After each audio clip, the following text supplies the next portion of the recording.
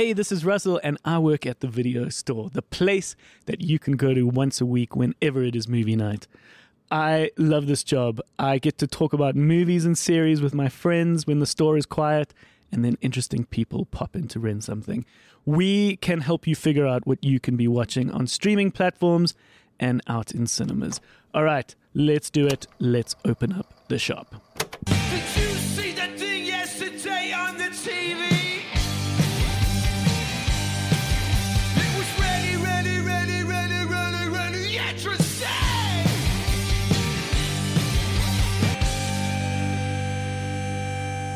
Good morning. Morning.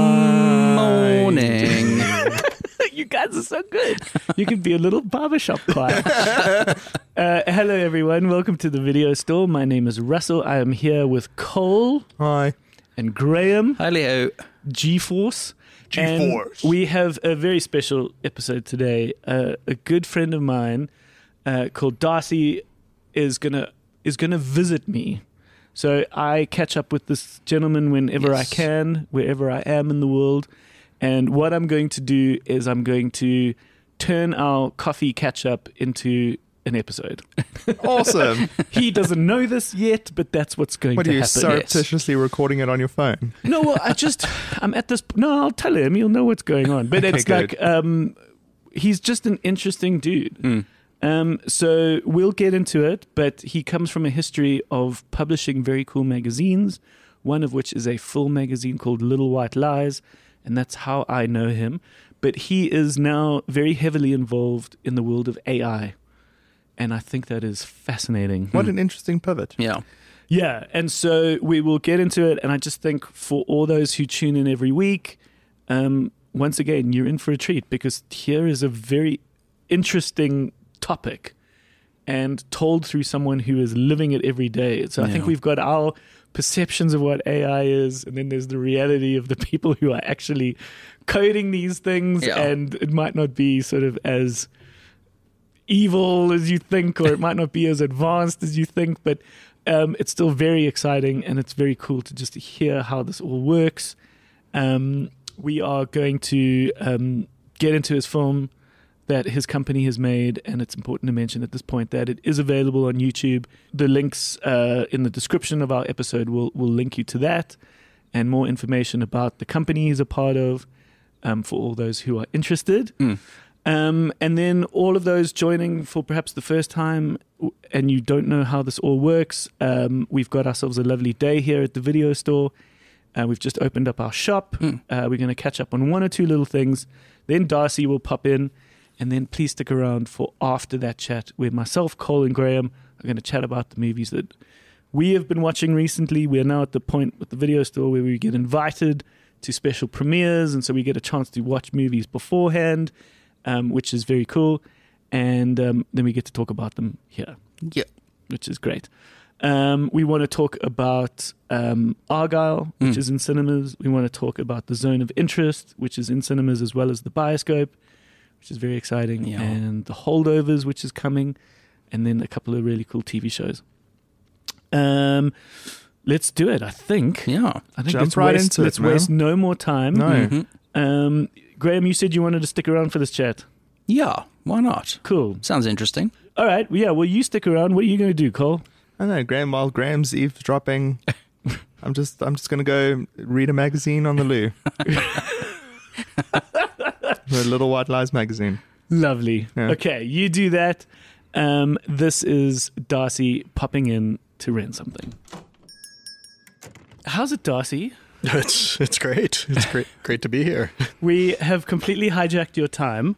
We were just recording um, an episode here when um, you arrived for our promptly scheduled catch up meeting to say hi. And then upon chatting, we realized hold on, we have all the microphones set up and ready, and you are super interesting. And so you deserve to be a guest on the podcast. So we've hijacked your time, but welcome to the video store. It's it's awesome to be here. Thanks. Uh, so just to uh, recap, D'Arcy is a is one of those really interesting people I've been lucky enough to have a chance to meet. You came to South Africa what four years ago, three years ago, It was 20, 2015. So 2015, and you um, seeked out. Uh, well, you came with because your wife had to work, uh, and you could work anywhere in the world, and you were a part of Little White Lies, which is a fantastic film magazine, which we sadly don't get too much stock of here in South Africa.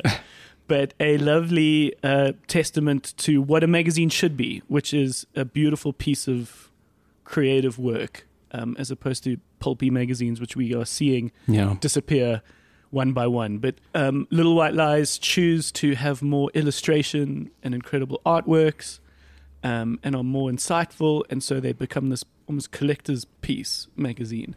And so you arrived and introduced that to me um, because you seeked out um, film spaces in Joburg and you found us. So perhaps uh, at that point, what was your impression of the bioscope? Well, I, I, think even before I stepped in the bioscope, um, probably the first I'd heard of it was uh, the Guardian website had, I forget how many, but it was one of those list articles of like the 10 coolest independent cinemas in the world. And What? Yeah. Oh, you, you haven't seen this? I don't remember if, if that did happen. I don't remember that. Oh, you- that's yeah. that's amazing. Yeah, so so that that's that's how I knew about the the bioscope Right. originally, and um and yeah, just just as kind of yeah the the cultural anchor of Maboneng. Um, yeah, it was kind of uh, And so Um, it was it was cool to then meet you, and it was cool to get a line, almost like you were a drug dealer, on uh, on some good stock of that magazine, which you then were very cool to give us a bunch that we could sell in this in the store, and of course they disappeared quite quickly, and I've been able to build a collection, and every time I see you, but you've moved on to lovely things, which we'll talk about. But perhaps uh, just if you can still speak on Little White Lies, what was that time like working for that magazine? Well, I, I think um, I, I think it was really inspiring, and um, and I'd my my background before that was I was sort of a foreign correspondent for newswires and worked in Nigeria and China and things like that, and uh, um, I was I was absolutely inspired when I first saw the magazine, and I thought it was incredible because. Um, other people were like Google, and Google came to them and asked, "Oh, can you make a magazine for us as well?" So, um, so I just thought it was incredible the creative energy that was was going on there. So What what came first, the service to make magazines or Little White Lies? Because the company, Graeme, Yeah. because Graeme's joining us as well. Hi. Um, um, the company were it was a very interesting company. They were a company that said we can make a magazine for you. Yeah. We can make a supplement. We can print. We can design. We can do layout, and and they had their own internal magazines, which were Little White Lies, Okay. Huck. So which came first? Do you know? yeah, def- definitely it was the magazines first, and um, Okay, so- and and I think it was like like you said, um, like a group of creative people who were kind of frustrated with what was on the newsstands, and Right. uh, particularly film magazines where they were kind of like, okay, it it, it feels so commoditized, and like uh, a lot of the big UK magazines, like we we know the editors, and they're they're even saying, okay, we we are told almost like a year in advance what our cover story is going to be, and um, we sort of with with Little White Lies, like the aim was to create um, something that felt like a conversation that people were having, kind of friends would have after after seeing a film, and that was that was the real desire. And uh, um, since since they did have a bunch of clever designers, they had this um, this cool rating system too, where instead of just giving like a five star rating. They would give three ratings. The first one was anticipation out of five, like how excited they were to see the film. Then the actual enjoyment, like how did they feel as they were sitting in the cinema. And then in retrospect, which was probably what uh, every other critic does, is like, okay, after you've digested it cool. all That's and right. written your article, like how do you how do you do it? So it so they tried to kind of create a bit of a kind of more transparent and raw and and to recognize too that that movies really mean different things at different moments for us. Yeah, and they and they yeah, a little bit like anything that you consume, you've got to think about it before, you've got to think about it during, and you've got to think about it afterwards. Because we've long since said um, one of the things that stuck with me after years of film school was um, was something um, the South African um, critic Leon van Nierop said to me in a lecture once, or to us, was that a, a good film is one that leaves you different Yeah. um, you and the worst a film can do is just wash over you and leave you cold. So if you if you've left angry or if you've left you know excited or motivated, then then then that's the best way to decide for yourself whether or not it's a good film. Um, and what were some of the highlights of that time when you were part of that magazine? Because I'm sure you got to meet some folks or Yeah, I think. Um, I mean, I, I think uh, one like the the absolute highlight was just kind of working with the creative team and thinking about um, thinking about what we were doing, but also thinking of new directions. Like we sort of when we were there, we we pushed into podcasts, we pushed into um, creating books and uh, doing a lot more exhibitions, and and actually trying to take those international, which the Bioscope kind of helped us do. And, Yeah, uh, so then you you you know you were able to travel often from Joburg to go back and do things, and and you would often come back and bring presents, which I always appreciated, and one of which was a collection of artworks that um, were all about the films of Guillermo del Toro, um, as if they were reinterpreted as classic book covers. Um, there was probably about 10, 12 of these artworks, which we then put up on the walls of the bioscope and had as an exhibition. And so it was lovely to to do that. And then um, you were very kind to give us other stuff that we put up for a bit. Um, and then you were very kind to uh, have us keep one, which was the um, the Big Lebowski print, which I have since framed and is as you come into the bioscope here at 44 Stanley, you can see it up on the wall. And many people want to buy it, and I will absolutely never sell it. so thank you for those presents, and thank you for giving us that stuff to sort of line the walls over the years and, and just make the bioscope look cooler. No, it's it's great, and I, I love like in the bioscope scope shop too how the um there, there's these this new series of artist prints of like cult films and amazing sort Yeah, of- so so you were very much privy to the Maboneng space, and then of course you you guys moved out of Joburg. Uh, where's home now? so home's London now. In London, that's Yes. right. And then um, uh, moving here to 44 Stanley, we could rethink a lot of things and add some things, and one of which was a was a gift shop, which we didn't really. You could see, you could probably see the start of it in Maboneng, but we could probably do it do it now. Um, but a nice thing, Graeme, speaking of London, Yes. is that when I was in town um, in 2022, Mhm. it was May, April, May. Um, I've spoken about it on the show a few times where I was able to watch um, Everything Everywhere All at Once Yes, you've at mentioned the that. Prince Charles Cinema. Well, sitting next to me was this gentleman. Oh, right. Okay. So when I when I rolled into London, um, I wanted to catch up with D'Arcy, and um, being the film geeks that we are, we didn't go to any kind of bar or Yeah. anything or do anything wild. We went and watched a movie. Nice. But it I was a- approve. it yeah, I know you would. I know you would. And and of course, I've said it on the show. But what made it special was actually seeing the Prince Charles for the first time and, and witnessing it because Mm. I've only ever discovered it on Instagram, followed it, and realized that it's very similar in spirit to the Bioscope. Right. Um, if they were people, they would get on. Um, the one would be be British, but Yeah. but but they would have the same interests, and uh, and it was just so great. I, I think maybe you can speak on it, D'Arcy. It just it was just so great watching that movie in that space.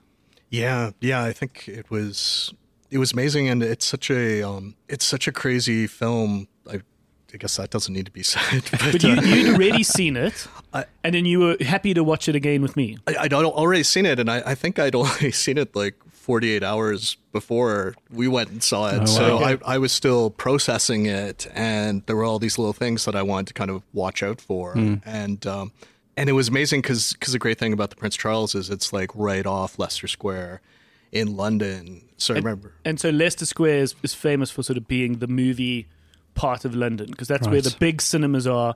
So when I was walking trying to find it, I saw the big cinemas that have these huge maverick posters and screens, and I think that's where they would have done the premieres with Tom Cruise, and Yes. would have been in that square, and then just off it. You know, just around the corner, and if you go even further, you're in Chinatown. Yeah, It's exactly. Prince Charles. Yeah, but it but it was amazing because um, yeah, we were talking about the film because um, We we also very rightfully uh, ate ramen yeah, shortly before, which is quite cool that there was this kind of Asian dinner that came before watching this sort of somewhat Asian film. It's it's yeah, it's true. It's it's the that film is it's uh, amazing thing about the film I find is like it it almost like pushes you pushes you so far that's almost pushing you away at a certain point. Hmm. and then everything stops and it basically just grabs you and pulls you in for a hug almost which, Yeah. Yeah. which like That's a great way to put it. and and I remember when we walked out, um, we walked into Leicester Square, and it was almost midnight, but the square was packed. There were all sorts of like just thousands of people there, and That was exciting for me. Now, Graeme, as a South African, Yes. you could empathize. We were at that point able to wear masks. We we were able to take our masks off outside, Yes. but we still had to wear them inside. Yeah. And of course, Joburg being Joburg, we're quite insular. Mm-hmm. We're not very pedestrian and out in these big public spaces all the time.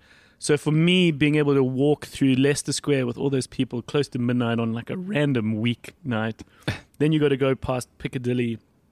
It was just so cool for Yeah. me to be like um, around people and no masks. And I was like, okay, well, I think we're making our way out of this. Yeah. But um, that film um, will struggle to find its right audience because it it could be a bit confused or people don't really know what it was. And I know in South Africa they um, putting it in a shopping mall cinema um, might have been the wrong audience. Um, Yeah. But but the Prince Charles was the perfect audience because those people knew exactly what they were coming for, and they were the kind of people that would appreciate that film Hmm.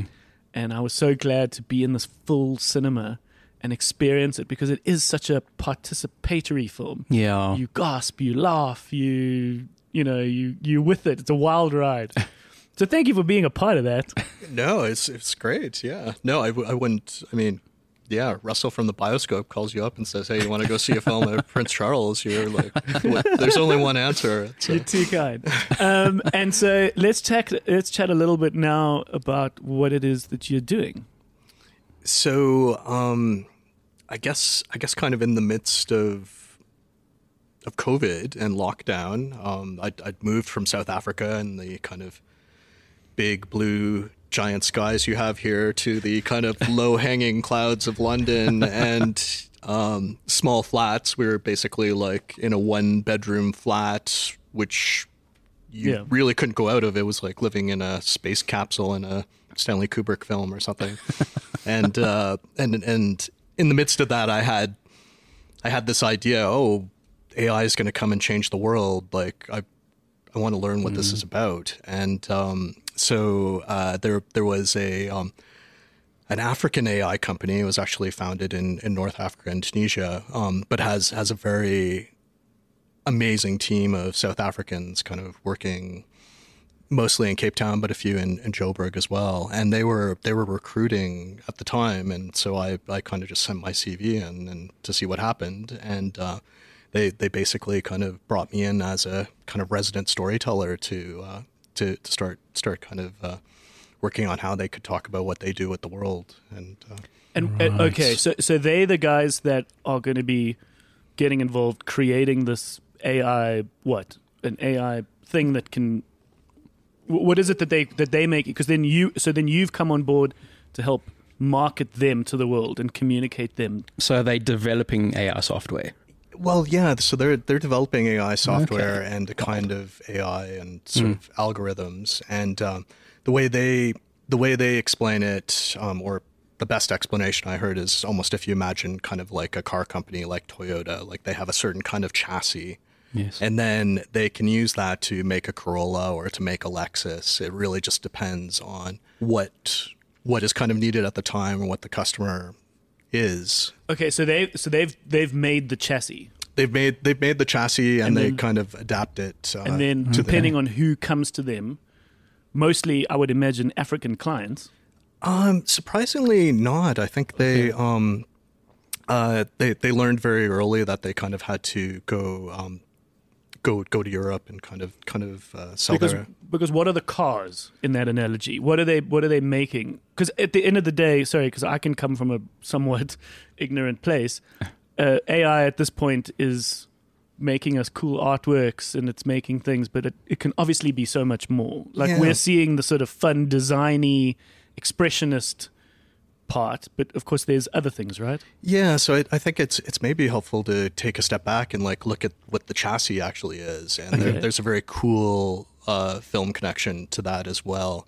Um, in 2017, um, there was this film that sort of premiered at Tribeca called AlphaGo, and um, it's about AI beating the world champion at the game of Go, which is kind of um, a, a game that's been around for for centuries in in Asia and is almost a million times more complicated than chess. it's like a sort of- of Chinese checkers vibe. it's it's? Chinese checkers, and the in the the number of possible moves is greater than like the number of atoms in the universe. oh wow. So Okay. so it was it was kind of like in terms of like a benchmark of of how AI was progressing. Like they were once once kind of AI beat the best chess player. Go is like on the horizon of one of the next bigger challenges. And they actually kind of beat it like decades ahead of when it was expected using a new kind of AI. And um, and that's the kind of AI we use, where it used to be like AI would work where you would program in a bunch of rules and then it would make decisions based on those rules. Because is that what that first was? The, the the chess, the famous chess. What was it called? Deep Blue, or what was it? The one that, that beat Kasparov. Yeah, Was yeah. that was that that where Yeah. it just it just said, well, if there's this, these are your options. If it's this, these are your options. And so E- exactly. it, it wasn't. It, it was quite closed in that sense. Yeah, and, and kind of like a decision tree um, of where where with AlphaGo what they did was um, I think they might have started out using that, but then they started using a new kind of AI called reinforcement learning, where uh, which which kind of started out mostly in video games, where it would play the video game and like by crashing and dying a million times would kind of figure out how to play the game better, and sometimes would do ridiculous things, like would almost like there, there's videos you could see on the internet of like people trying to move like Indiana Jones characters like through walls and things like that, where it was just the AI kind of doing random experiments. And um, the way reinforcement learning works is that it um, almost starts with zero experience and then through trial and error, um, very quickly builds up like years, decades, centuries of experience of playing games and becomes better than like the best human player. And that's what they used in AlphaGo. Um, Okay. How long? How, do you know how long it took it to learn? I mean, Um, it, it could be instantly, or it could be like a program running for a little bit. Oh, it, it definitely took took a while, and um, and they were kind of tweaking it, and and the great thing is it's all it's all documented in this film, which you can see for free on YouTube. It, Okay, it, I was it about to was say. Okay. yeah, okay, it was so it's on YouTube and it's called um, it's called AlphaGo, AlphaGo. and uh, it, it was. It, So- it, I think it had a limited cinema run, and then it was on Netflix for a while. But now anyone can see it for free. And so, Okay, did right. you you'd watch that before you joined the company? I, I had, yeah, I think Okay, when so you came at it. Okay. Yeah, and um, so so yeah, that that probably that very much kind of framed. So so they and this company was created. Um, I guess the founder was was from Tunisia, and he, he actually has a, a great backstory in, in his own. He's from Tataouine, which is where Star Wars was filmed. so he probably grew up just like thinking, okay, where's R two D two? Like where the like the future should be here. Um, obviously, Tatooine is the fictional name, Um, right? it's it's But it's, I mean, they shot they sh- where they shot those scenes Yes. Was in Tunisia, Tunisia, and I know that Morocco also has like some Star Wars sets that still Mm. exist yeah, for you to but, go and but find it, but in it's the middle of nowhere. Yeah, but it- it's actually like they they didn't really put much effort into disguising where they shot it because the real place is actually called Tataouine. Okay, I was about to say. right. Okay, so how similar is it? So so they basically like took out an I and an A, and uh, like okay, it's okay. like really. Um, and and they did like they were they were extremely loyal. Like I think we um I, I had the chance like when I first joined the company, we were shooting a documentary, and uh, um yeah we we went to several of the Star Wars spots, including like the Lars farm, which like. I think they must have shot like five movies in that. Like it's it's it's now actually like a hostel where you can actually stay there. And, uh, oh, cool. Yeah. Graeme Graeme would go. Yeah. Yeah. You'd be there. okay, right. Somebody so, needs so, to do like a movie set, like world trip yeah, planning cool. thing. Go to Hobbiton, go to Tataouine. You know. yeah, that'd be rad. Yeah. So um so yeah, our, our founder who is from Tatooine, he uh, he saw what um DeepMind, the guys behind AlphaGo, were doing, and he was thinking, okay, how could we apply this to industrial problems? and um, and rather than okay. games, and that was that was where the big shift came, and um, and yeah, they did have to go outside of Africa to kind of find clients, but um, one one of they they found some very interesting clients like Deutsche Bahn, which runs the German railway system, which is one of the biggest in the world. They're they're looking at the future, and they sort of had a moonshot project, which is like how can we how can we basically get AI to the, the same way that it became the best player at Go can be like the best a superhuman railway operator and kind Yeah. of like help lower our carbon emissions, reduce delays, like reroute the system when something goes wrong.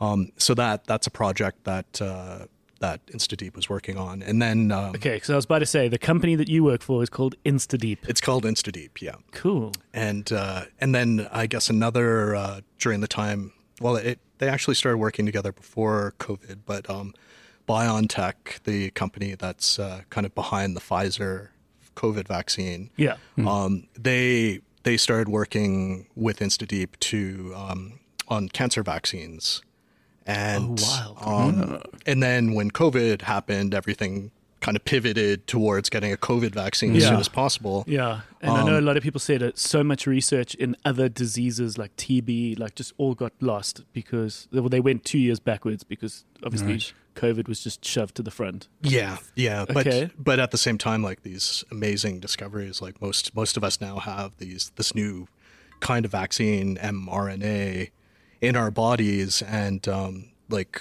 just just from probably hanging out with scientists, um, it's it's it's pretty amazing. Like just the basic technology there, where instead of injecting a live virus in your body, it's just kind of stimulating your system to naturally create or to create the natural antibodies that would kind of fight off something. So That's what these vaccines, these COVID vaccines, were doing. That's And- what the and- and COVID- is- And is that a similar principle to the cancer vaccine? and and it's it's the same principle to the cancer vaccines. Um, anything with mRNA, it's uh, it's basically sort of getting your body, teaching your body how to create these like kind of killer T cells that can like kind of fight Wild. cancer and things like that. And um, and since everyone is different, um, th- these things in the future, the idea is that AI can help personalize them. So it won't be about kind of just fighting cancer. It will be about fighting like your cancer, like what what specifically is kind of the patient That's needs. interesting. yeah. Yeah.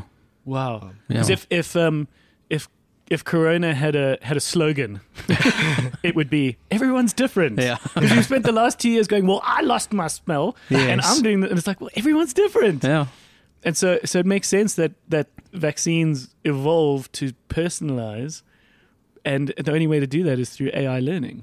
Yeah, well, I, I think it's it's definitely um, it's definitely a faster way to do it. Yeah. you could probably we could probably get there in a million years if we kind of kept pushing at it. But but AI can like the the same way it plays these games, it can just kind of like as as long as you can kind of frame a problem in kind of mathematical terms, it can just kind of do do like a thousand calculations a second almost, and kind of like Yeah, and and that's really the the the main thrust and point of AI. I'm going to take this to a very simple, dumb space, which is that obviously people have always been afraid of things taking over, of things being malicious. But I mean, we're not. We're far away. We're People are far scared away of from that, Terminator. right? At this point, we're still just using AI to to speed up thought. right? Yeah, yeah. I think I think in terms of like this this kind of I guess the Frankenstein myth it is it is natural to be afraid of kind of new things and Yeah. kind of things we shouldn't mess with. I guess maybe Jurassic Park is probably the more like the the more recent kind of like example in everyone's But I mean, minds. the idea of an AI being like, in my head, I think a lot of people, probably more through Hollywood, are seeing it as um, this sentient being. Right? Yeah, yeah. I mean, are we there? How far away are we from there? Because like every now and again, you hear about, you know, the what is the the Microsoft one or someone all of a sudden be, being a racist within twenty minutes. Yeah. Because it's Yeah. learning from the internet. Yeah. yeah.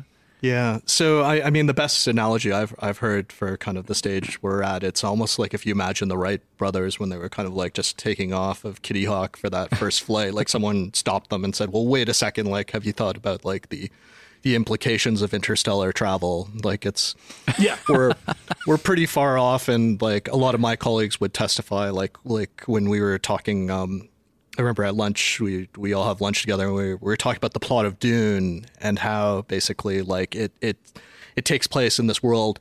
Um, after there's been a war with AI, and they've decided, okay, we can only have human navigators for, for computers, and they need this this drug spice, which Yeah. is kind of a valuable commodity.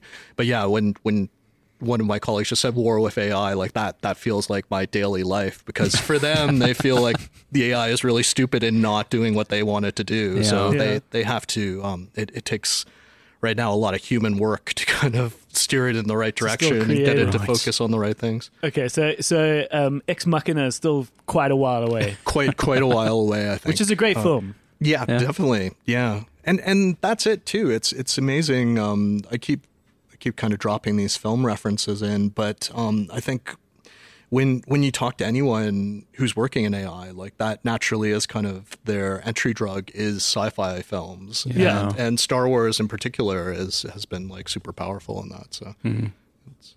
Okay, but yeah, you you you guys at this point are just helping trains run on time, and but I mean that's great, exciting stuff, and it's cool that that you can be on the forefront of that. I'm sure you're enjoying this, and I think I I find it also interesting that a Tunisian startup can get these kinds of contracts and kind of sit at these tables because I'd imagine. Here's my other question: is you're probably up against big dogs, eh?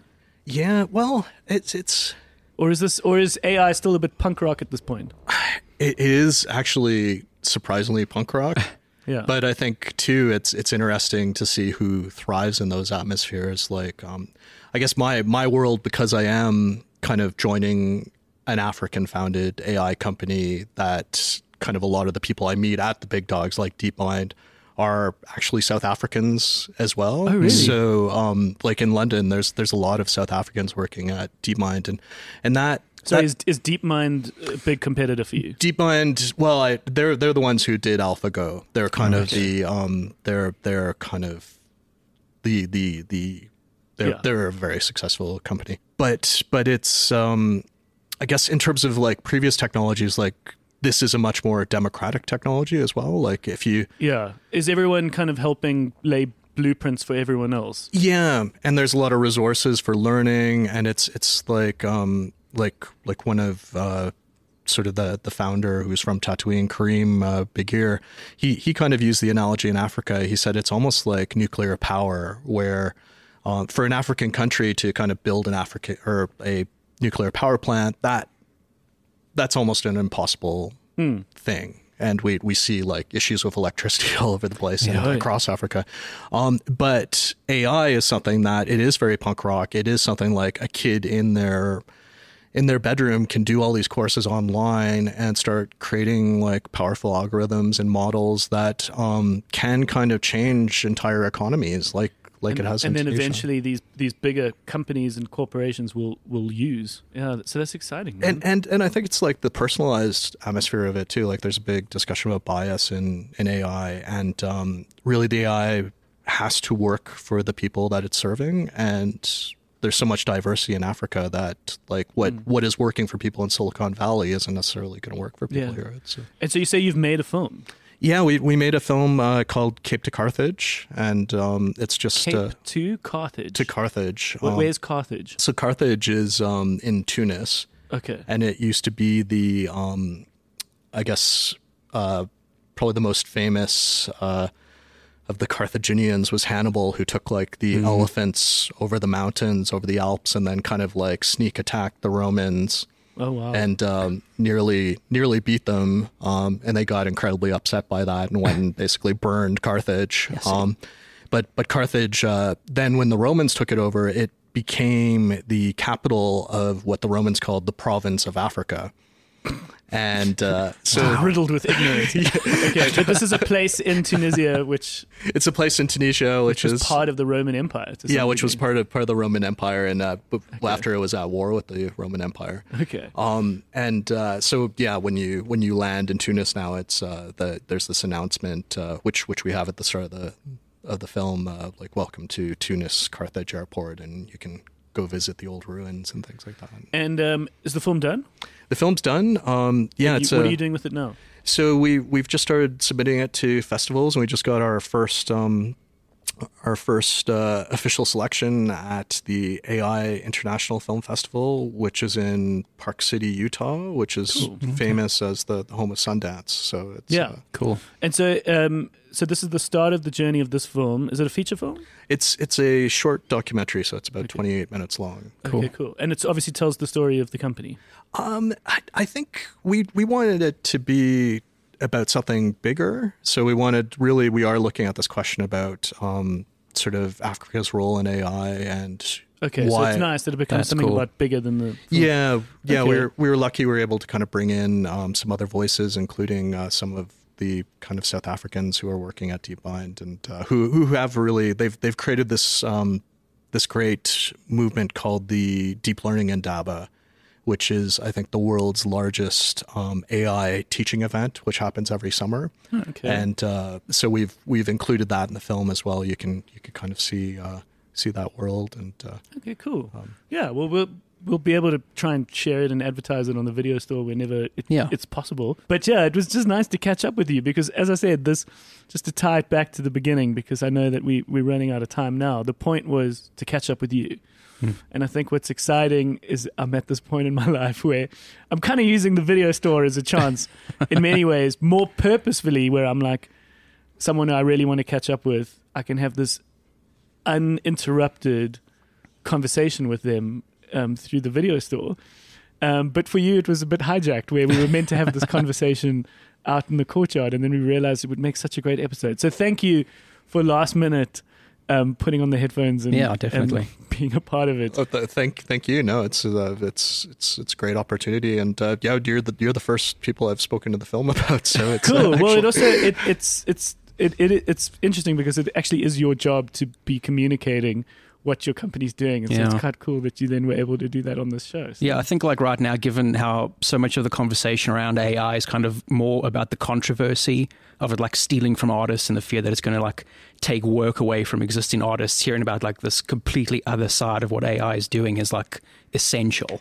yeah, That's really interesting. yeah, and and I think that's that's it. Like, we're, AI has definitely reached the point where yeah, people people from the arts, the humanities, like there there's some tough questions we have to answer, and Yeah. it's it's not just up to technologists to kind of tackle that. So, Mm. so everyone has to kind of engage with it. So, Yeah. So That's But awesome. It's interesting because I've often said that the engineers, whether you're building a bridge or you're building an AI model, like you are being creative. You are an artist in that sense. I think we often get confused between what creativity is and what expression is. But creativity is problem solving, which is what these AI builders are doing in the same way in which many filmmakers, writers, creatives. So it's interesting that perhaps it's just swaying more into that um, coding world as opposed to playing with, you know, um, iPads and artworks. yeah.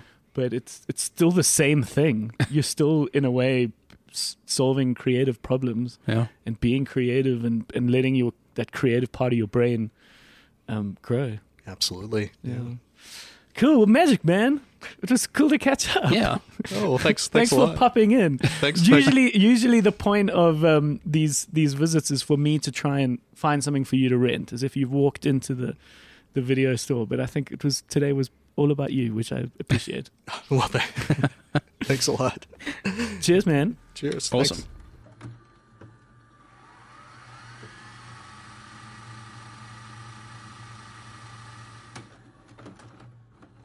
Right what a lekker chat Mm.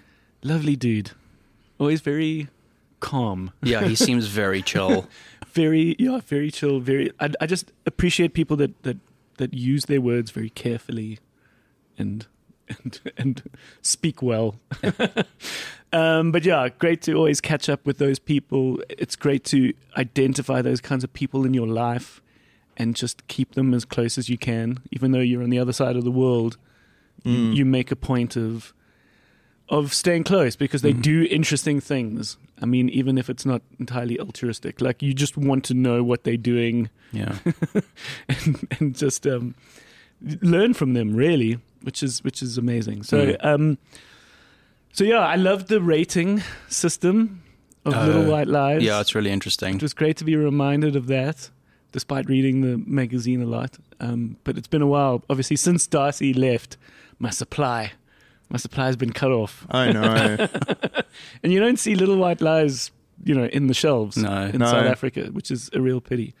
Maybe we must um, reinvigorate that um, with them and try and get stock somehow for the bioscope. Yeah. They always flew off the shelf whenever we had them.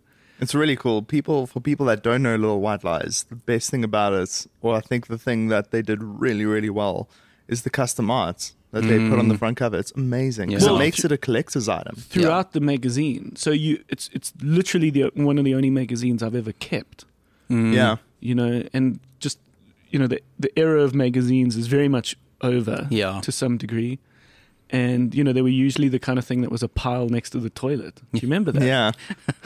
so um, the bioscope's taken on um, a lovely person as our cinema events manager, Celine, and she's in her mm, early mid twenties.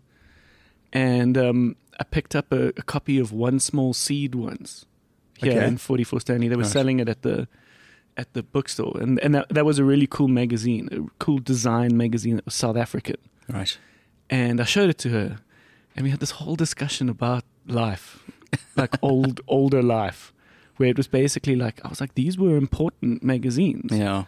These really helped dictate our culture, what we loved, who, who we admired. Mm. This is all pre-social media, and at one point she said, like, what what did what did you guys do before phones? and um, and it was great to think about it. And I, and the one thing that I said was like, we actually we read a lot of magazines, Yeah. and you know now it's quite hard to go to the toilet without your phone. Yes. you sort of like, what do I do? Do I just like stare at the wall, like what, you know? Um, but if you think about it, back in the day, there was like a pile of magazines next to the toilet. Yeah. Next to the Reader's Digest. Yeah. so funny. But anyways, these are not magazines to read on the toilet. These are real, as you said, almost collector's items, which is amazing. Um, so yeah, great to great to chat. And then it also had me think about where AI has been presented and where it's done where it's been presented well in movies. Mm. And I think one thing that was kind of interesting to come back to was when we watched um, Mission Impossible, the latest Oh, Mission yeah. Impossible, Dead Reckoning. We watched part one, part two's coming soon. The bad guy is AI. Yeah. Mm. And I made the really rookie error at the time on the show to go, yeah, this is like the first time like AI's been the bad guy. And you guys were like, Jesus, Come on, man. Terminator. and then you, uh, there's so many other examples. But I think for those, I think of Terminator as like, you know, these like robot men. Yes. And it's all a bit fucking ridiculous. What made Mission Impossible quite smart is that it was a little bit more plausible Right. in terms of how AI could be the bad guy. Right. Mm. And it was just this thing that existed in the electronics. Yeah. You know what I mean? It wasn't this robot that was coming to Earth and fighting wars. It was just the fact that this robot can see and do anything. Yeah. It's stuck in a Russian submarine. I thought that was a cool touch. Yes. It's always got to be Russians. Was it Russian? I think so. Yeah. Uh, it, oh, If I that's remember that's where it was. Hey, yeah, that's, that's, where where it it's was created. housed. Yeah. Oh yeah, yeah, yeah. Yeah, the movie opens with that submarine sinking, and it's still there. Yes. Let's yeah. Okay. That's where they're going in the next Okay. one. Yeah, it, I mean it's crazy and silly, Mm. but somewhat possible. And watch Tom Cruise is going to Yeah. have to dive like 400 meters to go get. he's really going to do it. Well, so just even something so basic, Yeah. which is the fact that the bioscope, as we've mentioned, has gotten this exciting upgrade. Yes. Right? So we've got this DCP system and we've got this way of controlling the projector through our computer. And it's a relatively complicated thing to start off with, but once you know it, it's, it's relatively easy. But the guys who set it up um, also installed um, the- what I think is relatively basic software, which is the ability to go into each other's computers. It's called like AnyDesk or something. right. right. It's like remote desktop control. Yeah. yeah. Yeah. And I um, have needed it because Right. every now and again it's like it's, there's a pressure moment, something's coming up, and then he quickly logs in and helps me change and fix something. Right. But I'm watching this dude like on my computer Yeah. doing stuff. Yeah. So it's like Sorry, this is the very sort of like late thirties um, millennial in me, but like th- that's kind of just shows you like, Yeah. where we're at. I that's, set a- that's a commonplace. Yeah. So so It's imagine a super thing. smart, highly advanced AI. Like it's very possible to just go into each other's computers. No, it's nuts. I had to set up a remote desktop for my grandmother Uh, because I realized I'm I'm no longer going to do phone calls trying to describe to you what to do. Yes. Because then you have to ask her, "Where are you? What do you see?" And that is Yeah. A nightmare with an 82 year old woman. Yeah. So I was like, I went to her house, I put on remote desktop view, and I'm like, "Okay, Nanny, next time you need my help, this is what you're going to do. You're just going to start this program up, and I'm going to log in, and I'm going to take control of your computer." Yeah. Like, what? What about someone else? If I let you do it, then the whole world's going to do it, Cole. And I'm like, no, Nanny, it's it's going to be fine. I'll help you out from a distance. You know. So imagine 50 plus years on you, yeah. Yeah. and someone saying, "I'm going to control your computer." Yes. Yeah, that is wild. Imagine in your life you you go from having zero electronics and computers, and now at 82 your grandson's like, "Okay, Nanny, we have to get you fiber, Yeah. and then we have to upload your family photos to the cloud." Yeah. I remember the funniest thing I heard her say once was, "But now if they're on the cloud and I want to get them, do I have to go up there?" And she went up with her hands and fetched them. Yeah. shout out shout out to the movie Sex Tape with Oh, yeah? Cameron Diaz and um, Jason Segel, where he kept the running joke throughout the movie is like on the cloud. Right. On the cloud, it's in the cloud, and, and she sort of kept going like, "Do you really think it's like in a cloud? Like, like, like what the fuck?" They record a sex, they record like a, themselves having sex, and then they mistakenly upload it. So that means Ah. like everyone in their network and devices Oh, are now yeah. going to be able to access this sex tape. It's it's it's relatively funny. That's cool. Um, speaking of fun romps, Uh, cool. there's a good segue. really? Um, we watched Argylle Yes. Yeah. last week, which is um, a film now in cinemas uh, as we speak. Uh, when this episode comes out, uh, it is a it is a fun film. I think we'll start with that. Um, quick back of the box. It's really hard to give a back of the box because it's got lots of twists and turns, but it's a sort of fun action adventure um, where basically we have Jessica Chastain, who is a author. Bryce Dallas Howard. Oh, my bad. Yeah, you got Jesus. the two gingers confused. People do that all the time. Yeah. Totally right. Okay, this is Bryce Dallas Howard. Yeah. Um, my apologies to all the gingers in the world. Um, no, but they do get often Yeah. mistaked. My bad. Um, okay, Bryce Dallas Howard, whose father is Ron Howard, Correct. very famous director. Yeah. Uh, she is a author of a bunch of crime books, um, where her main character is Argylle, who's like Yeah. this sort of little bit of a preposterous James Bondy character, Yeah. Um, with the worst haircut in the world. with the worst haircut in the world, it's the biggest crime in the film. and um, and then the setup of the film. So there is so much more to it. Is the fact that she then discovers that her books are very true to what's happening in real life, and that she is now in danger because people now believe she holds the key to sort of what could happen next. Yes. She Because she's- Because she's been predicting, but of course there is just so much more to it. Hmm. Yeah. Um, and it was fun. Yeah.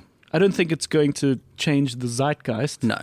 And I think it might be a little bit more fun at home, streaming on a sort of Sunday afternoon. Yeah. Um, it's a stream it movie. perhaps, but I do want to encourage movie going. So if you if you do want to uh, go out and see it, it is in, in cinemas, and I think it's it, it's a fun movie to watch on a big scale, I guess. Yeah. Um, but yeah, we we enjoyed it. Hey, any Yeah. thoughts? it was, I think the best thing about it was Sam Rockwell. Oh yes, Yes. by a mile, dude. Yeah. So Sam Rockwell delivers in the in the kooky way that he normally does. Um, he plays who you think is a good guy, um, coming to help her, Hmm. um, and he's also sort of like a spy. Yeah. Yeah. Yes. Exactly. And she takes her cat along, which I thought was very underutilized. Yes, I Which agree. was weird. Yeah. Okay. was like I, I one think there was joke. a, I think there was enough of the cat. No ways. Okay, you the wanted cat was barely involved. Yeah. So Yeah. throughout the movie, the, her cat is on this adventure. She's got one of those like kooky backpacks where there's a little viewing hole for Yes. the cat. Yeah. Um, and Which- they make a bit of fun with it. By the way, that backpack is the reason why there is a sort of conspiracy that Taylor Swift Yes, wrote the wrote the story, yes, which I've is heard insane. this. So the Swift Swifties believe that she was somehow that Taylor Swift was somehow involved in this movie. Yes. So like like we were talking about, there is an actual book now Yes. that's called Argylle, which is essentially a form of marketing. Yes, It's so, an entire novel based around this the fic- the fictional character in the story of the movie. Yeah. So that's that was something that that we experienced shortly after. I always go into exclusive books. Um, I often um, get inspiration for what we can buy in our gift shop. So I often look for films or books that have become film. And in the fiction section, I saw Argylle, and it was written by the character's Yes. name. And so I was like, oh, this is genius. And I m- immediately was like, wait, is this the movie? Or what is this? And then I, I, scro- I scrolled through the book and it was all just spy, Argylle Yes. stuff. And I even went to the end to be like, is it the movie's end? Yeah. But it was something else. Right. And I was like, oh, this is genius. They've, Mm. they've, they've planted this. Um, and this is the book, one of the books Yes. that she writes, which is a fictional book. Yeah. And then even like in interviews and stuff, they're they're talking about it like it's a real thing. Yeah, Like, that, so um, that came first. I think they put the book in shelves Hmm. first, um, and it was just a smart marketing move. But like And I just Matthew appreciate Vaughn in interviews was like, yeah, it's based on the fourth Argylle book. That's Yeah, like yeah, the, what yeah. they that's what the one they used for the movie. And it's like there is no fourth Argylle. there's no there's no Argylle book. Yeah. Yeah, ah, it is smart, and that's cool. So uh, uh, Matthew Vaughn, it's perhaps quite cool to know where this, who the director is, and, and the context of the movie. Um, he made all the Kingsman movies. yeah. Also, was- Kick Ass and X Men Kick-Ass, First X-Men Class. First Class, yeah. Yeah. Kick Ass was was fun. Yeah. That was cool. Mm-hmm. Uh, uh, which one was first X Men class? First Class. Which one was first class? That was the, one- first one with Michael Fassbender and James McAvoy. Oh, the first kind of like prequel movie. Mm. Yes. Oh, that was cool. That was fantastic. And then was the great. Kingsman movies are very similar to Argylle. I think Yeah. in in their frequency, where it's like they're fun, they're preposterous, they're having fun as a Mm. film. So that's what I mean. That's why I wanted to lead with like it's not shit. It's, Yeah. it's it's silly. Um, It should have been sillier. Perhaps. Like, like for example, like if you look at like Kingsman is a good example of this. Like the ending of the first Kingsman, right? If you think about mm-hmm. the climax of that movie, Yes. where it's like bonkers and people's heads are exploding, Yes. and it's all this like it's a similar image that we get to to the end of this. I don't want to get into to like specifics, Yeah. but like multicolored smoke as people's heads are exploding. Yes. It's like obviously like an image that Matthew Vaughn likes, Right. But the thing about that movie is it sets the entire takes the entire movie to set up like a tone and a style where where you reach that point, you're not going, oh, this feels weird. Yeah, So it's Exactly. out of place. But when they do it in this, the whole movie hasn't been preposterous enough. Right. For by the time you reach that point, you go, okay, this feels like it belongs in this movie. Totally. It was tonally Yeah. like all over the place. Yeah, it started Argylle- off feel like feeling like it was a Hallmark movie. yeah, well, but even before that, Argylle starts with a scene from her book. Yes. where Henry Cavill, who plays Argylle, Yes. is in this, and John Cena's there, and Dua Lipa tries her best to to act through one or two scenes, and it was a bit silly, but not in a fun way. It was like, what? it there was a moment where I was like, wait, is this what the whole movie's Oh, going is that like? when she says, Can you dance? Yes. And he doesn't dance. And then she's like, The answer's yes. And I'm like, No, it's not. Yeah. He can't dance. He But, like, like- stepped to the left a bit. even in that way, it starts like a James Bond movie. James Bond movies almost always start with an unrelated action scene. Yeah. That's In the not middle related the to the plot. yeah. Yes. Yeah. That's exactly the way this starts. Yes. And like you were saying, like the writing of her novel seems terrible. Yeah. Like she seems like a bad writer, and I can't help but feel like I hope it's intentional. Like Yeah. they're almost doing like what if Twilight but James Bond. Like Yes. that's what her books are like. Yeah, exactly. I hope but you that's intentional. don't. And I Yes. think that's the problem. Yeah. But yeah, there were definitely these moments where it was like, I am going to take all reason out, and Mm-hmm. we are just going to have a cool action sequence. Yeah. Yes. and we are going to focus on that almost like it's its own like music video. Yes. and those are cool. I like that. I like the freedom of that. I Matthew like Vaughn's very good at that. I think we need more like silly, stupid idea Yeah. fun. I don't know who I was talking to about this, but it remi- it felt like for me this is a little personal story of Mm. like we had a class called movement at Mm. varsity where in our acting component and of course none of us or at least I wasn't trying to be an actor Yeah. I had to take these as part of my dramatic arts degree I- I wanted to be film Yes. but we had to take these two years of performance. But it was cool because we had voice and we had acting and we had movement. And movement was what I think we called it in the one episode flopsy body, Right. flopsy body movement. Yes. Like arty, like my body's a candle, like kind of silly. And we only got given um, in this class like certain kind of moves we could do. And then we had this one assignment once where we had to create our own dance. And everyone used just variations of the few phrases we'd been given, right? Right. Certain moves.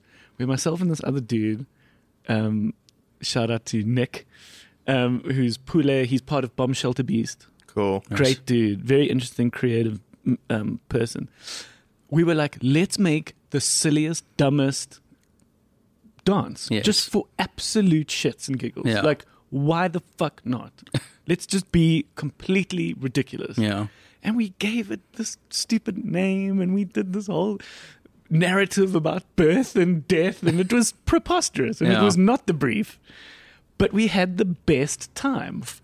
And that's kind of what you you think on this huge multi-million dollar scale some Yeah. of these guys do where they're like let's have the most ridiculous fun with the sequence Yeah. where there's oil on the floor. I don't want to give too much away, Yeah. but I, this is just a moment in the film of Argylle. And there's oil on the floor, but how do you get through it? And then all of a sudden, she remembers she's a figure skater. Yeah. So she fashions these figure skating Insane. things and then skates around an oil Yeah. rig, you know, like a floor covered in oil. And it's, it's just a great sequence. It's lots of fun. Exactly. It's inventive. Yeah. And it tries Yeah. to be inventive, which Yeah. is, I think, its strength. Mm. Yeah. But so, yeah. so, so that's the, that's yeah. the feeling. Matthew Vaughn works better in like an R-rated space though, Yeah. as opposed to PG-13. Absolutely. Yeah. Yeah, there were one or two moments, but yeah, it was perhaps not enough. Yeah. Um, speaking on the other side of fun, we then watched The Zone of Interest. Yeah. Um, the Bioscope, uh, as I've said, has, has done this big upgrade this year where we are now in the position to screen the films that are coming from bigger distributors Hmm. and bigger studio films and and and the zone of interest is one of them it is a film nominated for a host of oscars this year Yeah. including best film best director uh, best international film which is interesting that it's in both categories which Mm. is which is very cool and and I've just heard it's incredible it won the grand prize at Cannes Mm. so it's kind of it's kind of interesting position for me to see these films coming and all I get is the reviews Yes. and all I get and I've got to pick whether or not the bioscope should take on a film because we've only got one cinema. Yeah. But it's like when you look at those accolades, you're like, okay, Yes. this is not a fly by night. Like No. this is clearly doing something Yeah. Yeah. that is exciting. Like, so what we know about it is we know it's in World War II, and we know it is about the family that live next door to Auschwitz. Yeah. because the the patriarch of this family works in the camp. Yeah. And As the head of the as the head of the Yeah. camp. I mean, you don't. Yeah. But I'm just the trailer doesn't give you much. Oh, much. no, yeah. The trailer gives you these like little vignettes, little scenes, little moments in the house, Mm. intercut with like, "This is the greatest movie in the fucking world." so Yes. it's like it's really hard. You know all the reviews. Yes. So you're like, you're like, I got nothing from the trailer apart from the fact that this is in, apparently incredible. Yeah. Um, and then um, we then, um, I don't think this is a p- problem to announce, but once the film unlocked on our system, I really wanted to watch it because I want to know what um, I'm going to screen. Yeah. Yeah. I think that's important. But um, I also host a podcast where we talk about movies. And Yeah. so my two chummies, Cole and Graeme, uh, joined me for a private screening of this film so that we could review it. Yeah. So we watched it in the bioscope, which I think was nice and fun. Mm. Um, except the movie wasn't nice and fun. Yeah. But the movie is incredible, and I want to talk about it. Yeah. And I think what is perhaps a good place to start is the fact that we left very quiet, Yeah. very somber, and I think you said it in a social media post where you said, I- "I'm going to need some time." Yeah. It was like emotionally drained Yeah. that movie. Yes. Yeah. So it is incredible, and it is definitely worth your time. Mm. And we would love you to come and watch it at the Bioscope because screenings are continuing. Cool. But on that note, perhaps Cole, kick it off. What do you think? Yeah, I think like for a film that shows you no visual violence in the Holocaust, which Yeah. we're not used to. Like if you think about the pianist, if you think about Schindler's List and a host of other Holocaust films. Yeah. You're used to seeing the images, right, that you see in black and whites in Mm. history textbooks.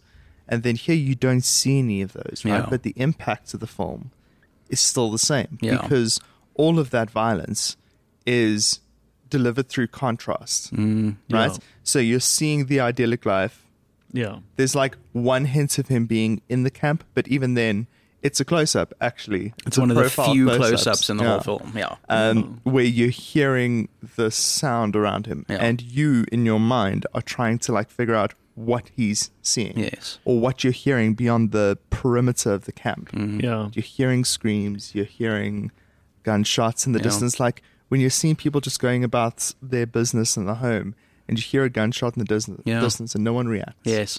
You sit there and you're like, and "What it's the whole time. Like every time they're in the house, you can hear the camp constantly. Yes. Yeah. Yeah. It's So- like this constant presence of noise. So that's that's really the premise of the film. Yeah. Absolutely. Is that you you see this life of this family Yeah.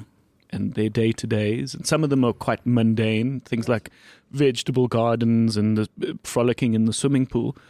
It does get bigger, and there are other issues at play, and things happen. But throughout the movie, you've got this wall, often seen in the background, Yeah. and you've got the sort of towers of the camp behind. Mm. And as you said, you hear this like sort of Mhm. like screams and like Yeah.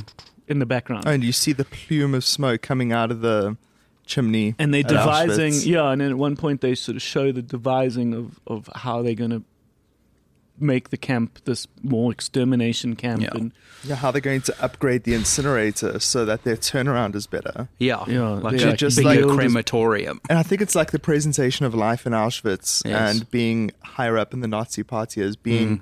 like this is just a day to day like tree of life esque Yeah. observation of these Yeah. people. Yeah. And the way they like normalize that with their camera is it puts you in a position as a viewer where you just sit there going, I don't want to be watching this, Yeah. you know?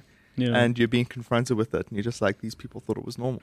Yeah, it like I was thinking about that during the movie. It's like how did an entire country become convinced that this was the right thing to do? Yeah.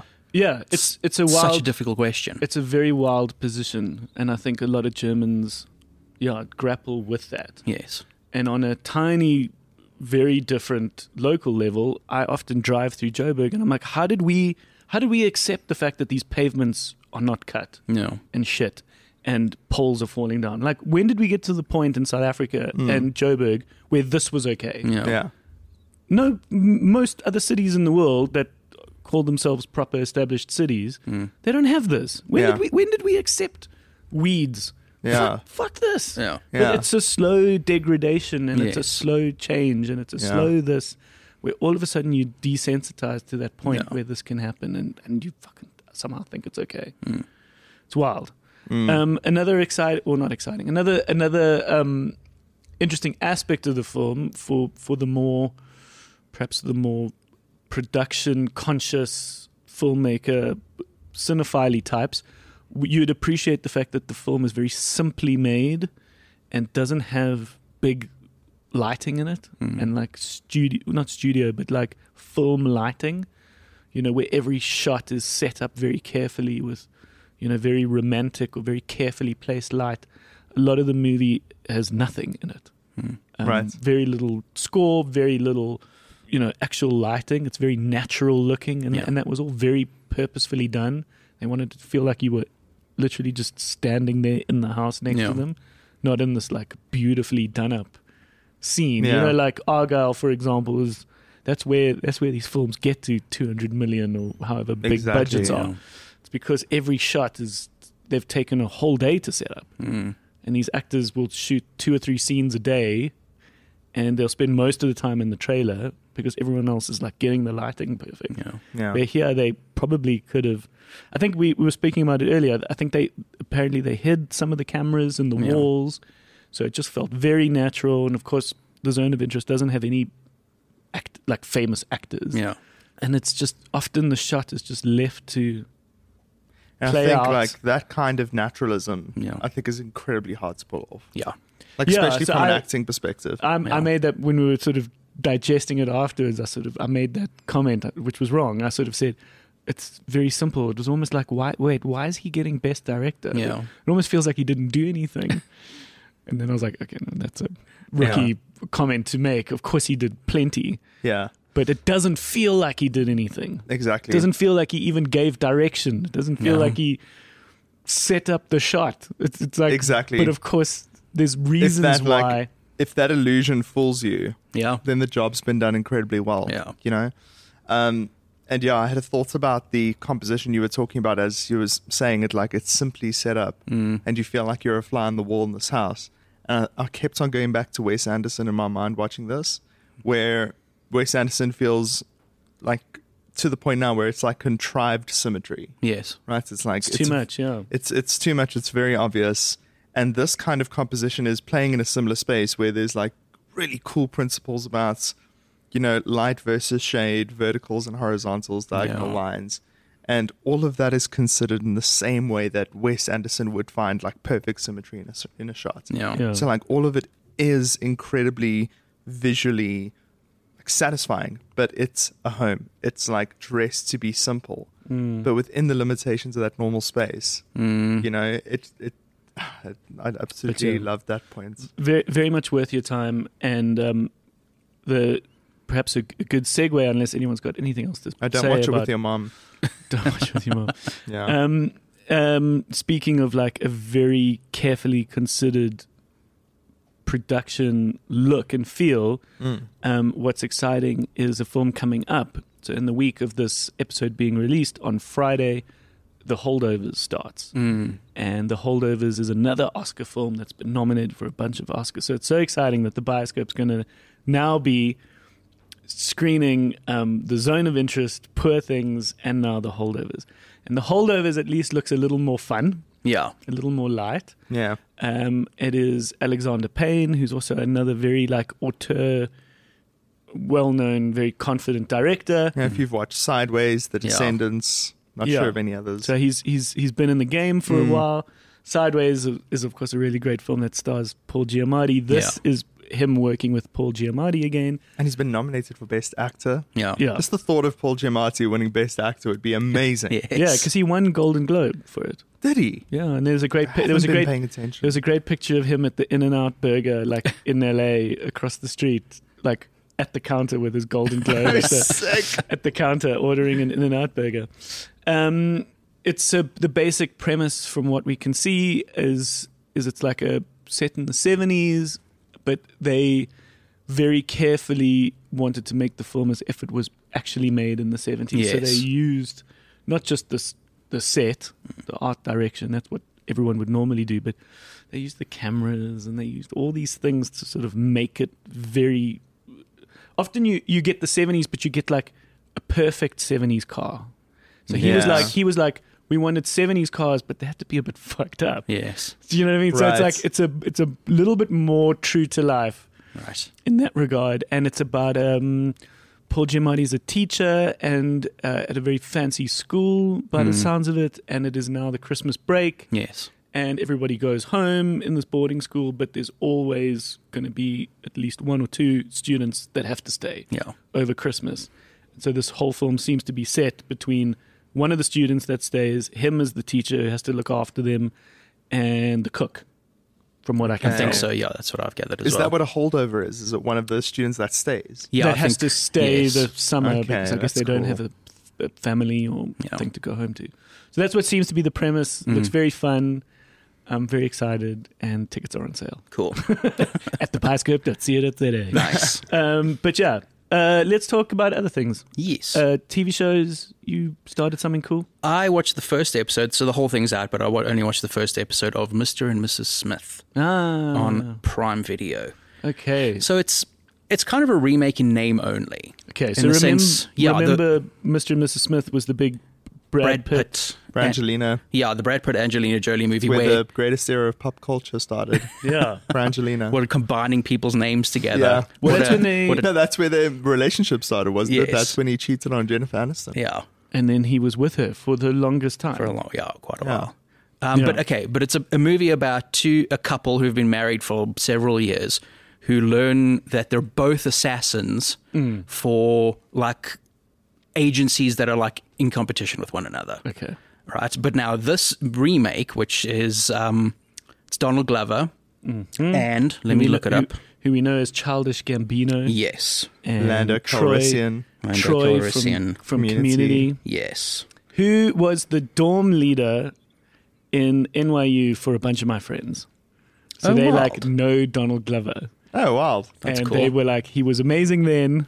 And of course, they're so proud of this, like, this varsity dorm leader friend that they had. Um, and they said they saw him on the streets sort of years later in the sort of community era, recognized them, and was such a cool dude. All right. Oh, lekker. So that's always a nice story to tell. Yeah. Okay, so this is Donald Glover and Maya Erskine. Okay. Who's that? Um, she's in. You mentioned Blue Eye Samurai.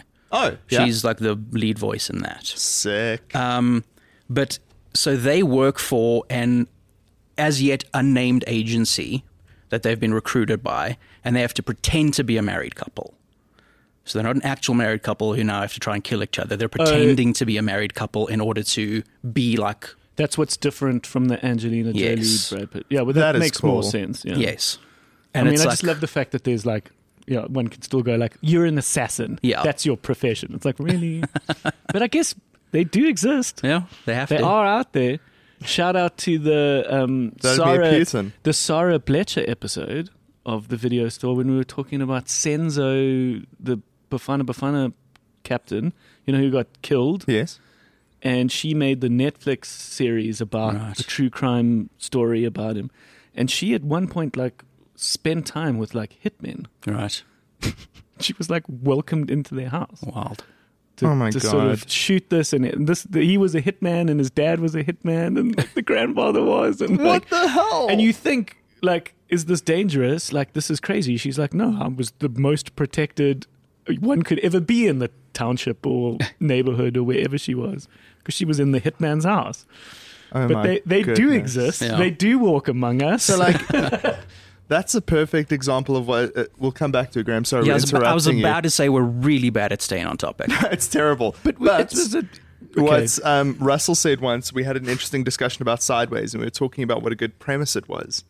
Um, and Russ had a good comment where he said, like, we have winelands. That is such a simple present, uh, premise. Yeah. Why the hell haven't we told that story here? We don't have these stories about everyday South Africans because we don't know ourselves well enough, one. And here you're telling me that there's a house with a family lineage of hitmen in the township. Yes. Like, That what would the be- fuck? Why that is that not a film? yeah, sideways. Sideways was this. Go back to holdovers. Yeah. Um, Paul Giamatti and Alexander Payne. But Sideways is this great film where two guys go on a bachelor's weekend um, in the Napa Valley, yeah. and it was our lecturer, our screenwriter lecturer at the time, that said, "Watch this movie. It's amazing. It's very well written. It's funny. It's endearing. It's amazing. This could have been written in Cape Town." Mm. Totally. So yeah, that was inspiring. Um, okay, back to Mr. and Mrs. Smith. I can't remember what I was going to say. Oh, I'm so Um, sorry. Yeah, we were talking about the premise and how they've changed it, which is really Yeah. interesting. I like that idea. And like the tone is totally different because of that. Like the movie is quite like overtly goofy in like a sense of humor and that sort of thing. Okay. Whereas this, while it's not lacking humor, there aren't like jokes per se. The humor more comes from like the awkwardness of these two people who have, have never met before, now having to be a married couple and trying to get to know each other. And like Donald Glover's character is like way more prying and trying to get information out of her. She's like way more closed up. But they never like overtly say these things. Yeah. You just get like these little insights into their characters and how they respond to them. And the way we're introduced to the character is the way they're recruited is they've been contacted somehow and they go into this room and there's like this little gray box thing with a screen on it and it just says print like words appear in it that ask them questions. Yeah. So they have to answer these questions. So we get like this information dump about them and we learn all these little things. But then later on, for like for example, they're having a conversation and she asks him one of the questions they were asked Yeah. in this thing and he lies to her. he gives a different answer to the answer he gave to begin with. Oh, so the And you audience immediately now go, okay, cool. Why would he lie about that? Oh, shit. Like just So, like, little things like that. Based on a first episode hook, yes. are you hooked? Yeah, I'm definitely going to give it at least one more and see where it goes. Okay, right. Yeah. That's good to know. Shout out, by the way, to a very popular anime. Yes. it's tangent called Spy Family, which Oh, is right. pretty much the original Mr. and Mrs. Smith Okay. premise, and it's super popular Cool. and kind of fun to watch, but also very anime. So if you're Yes. an anime fan, it's a fantastic watch as well. cool.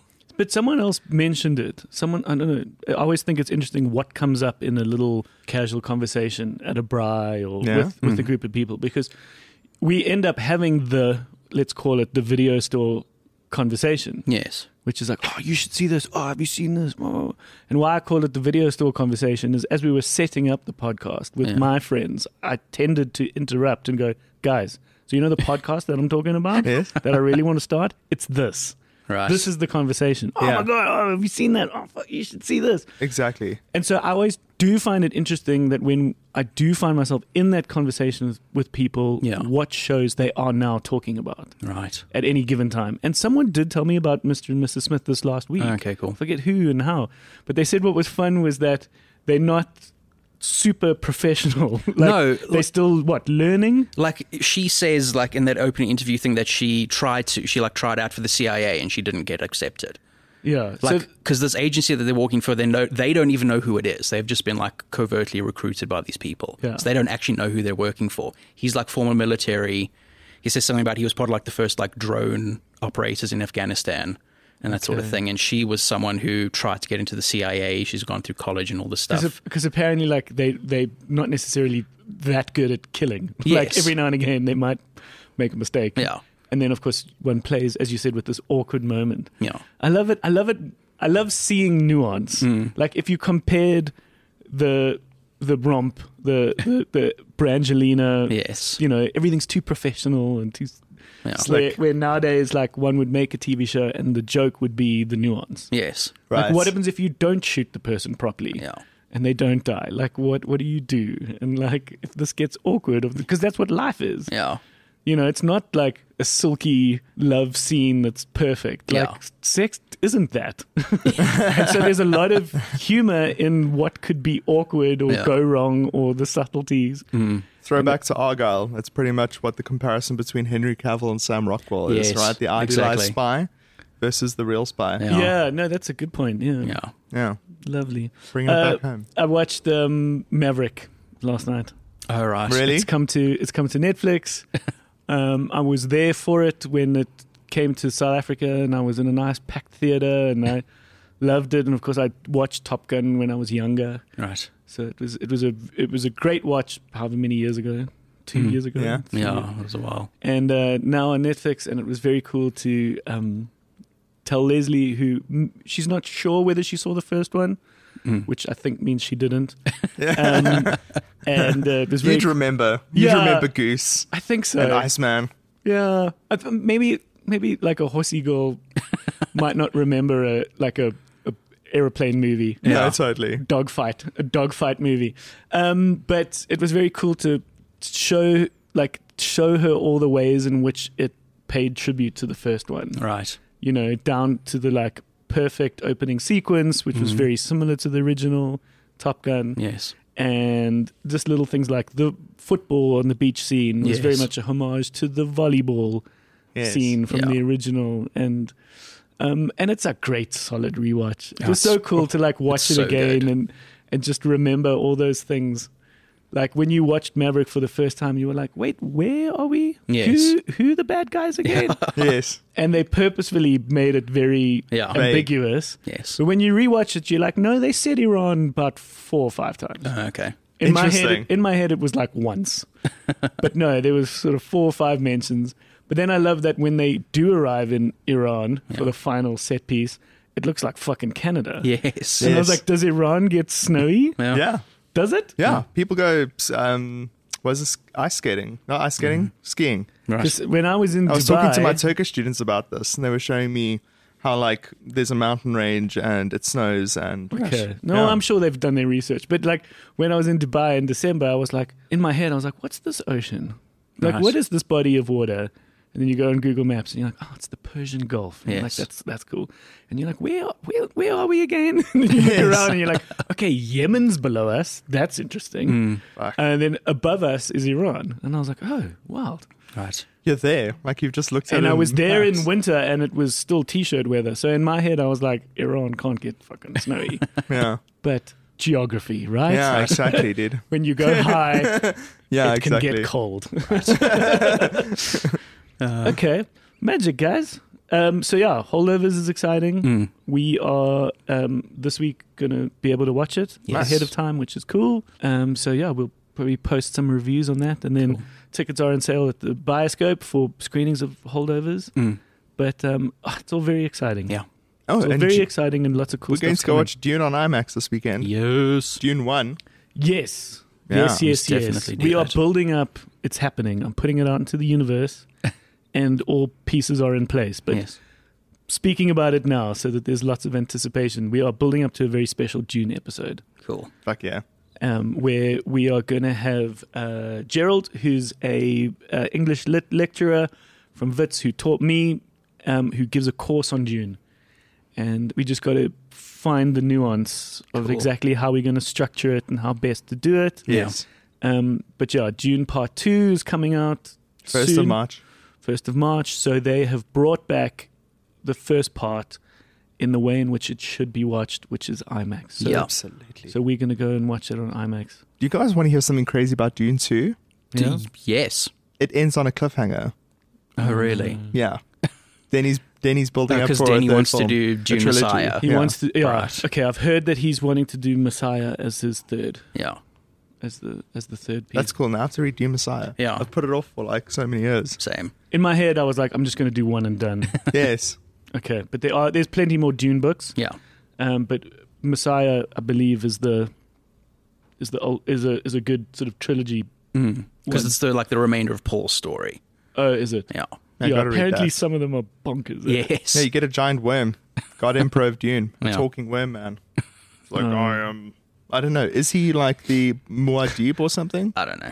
Careful now. Bizarre. Yeah, let's not go too far down this road. um, thank you, thank you, my chums, Yeah. Lekker. and thanks for today. Thanks for being a part of the chat, Graeme, Cool. and um, thank you to everyone who is listening. Yeah. Yeah. We love and treasure you. I'm getting more and more of these conversations now with friends and people I know who are saying, "I love the podcast," awesome. and it just brings such joy, and it just makes me want to keep going. Mm. I'm doing it for myself, and I'm loving it. yes. but it it, do, it certainly doesn't hurt to um, to get a compliment Mm. here and there. Yeah. Uh, so thank you for listening. Homebase is the videostore.co.za, but please chime in. Give us your reviews of films. Yeah. You know, you can post them on um, our Facebook group. So look for the video store in groups, and then also just like tell us tell us what you think Mm. in Instagram Yeah. on this this episode's post Yeah. Chime in. All right. Uh, thank you for listening, and we will see you again next week. Love you. Bye. Bye. Cheers. You've The got you've squeaky got your sign off. Oh, does, does it have to be that? I want it to be that. oh, does it have to be that now? Okay, fine. Do it again. No, this is it. Oh, is this it? This is it. Oh my god, that is awkward. All of this is staying. TTFN. Thank, Ta-ta for now. There you thank go. you.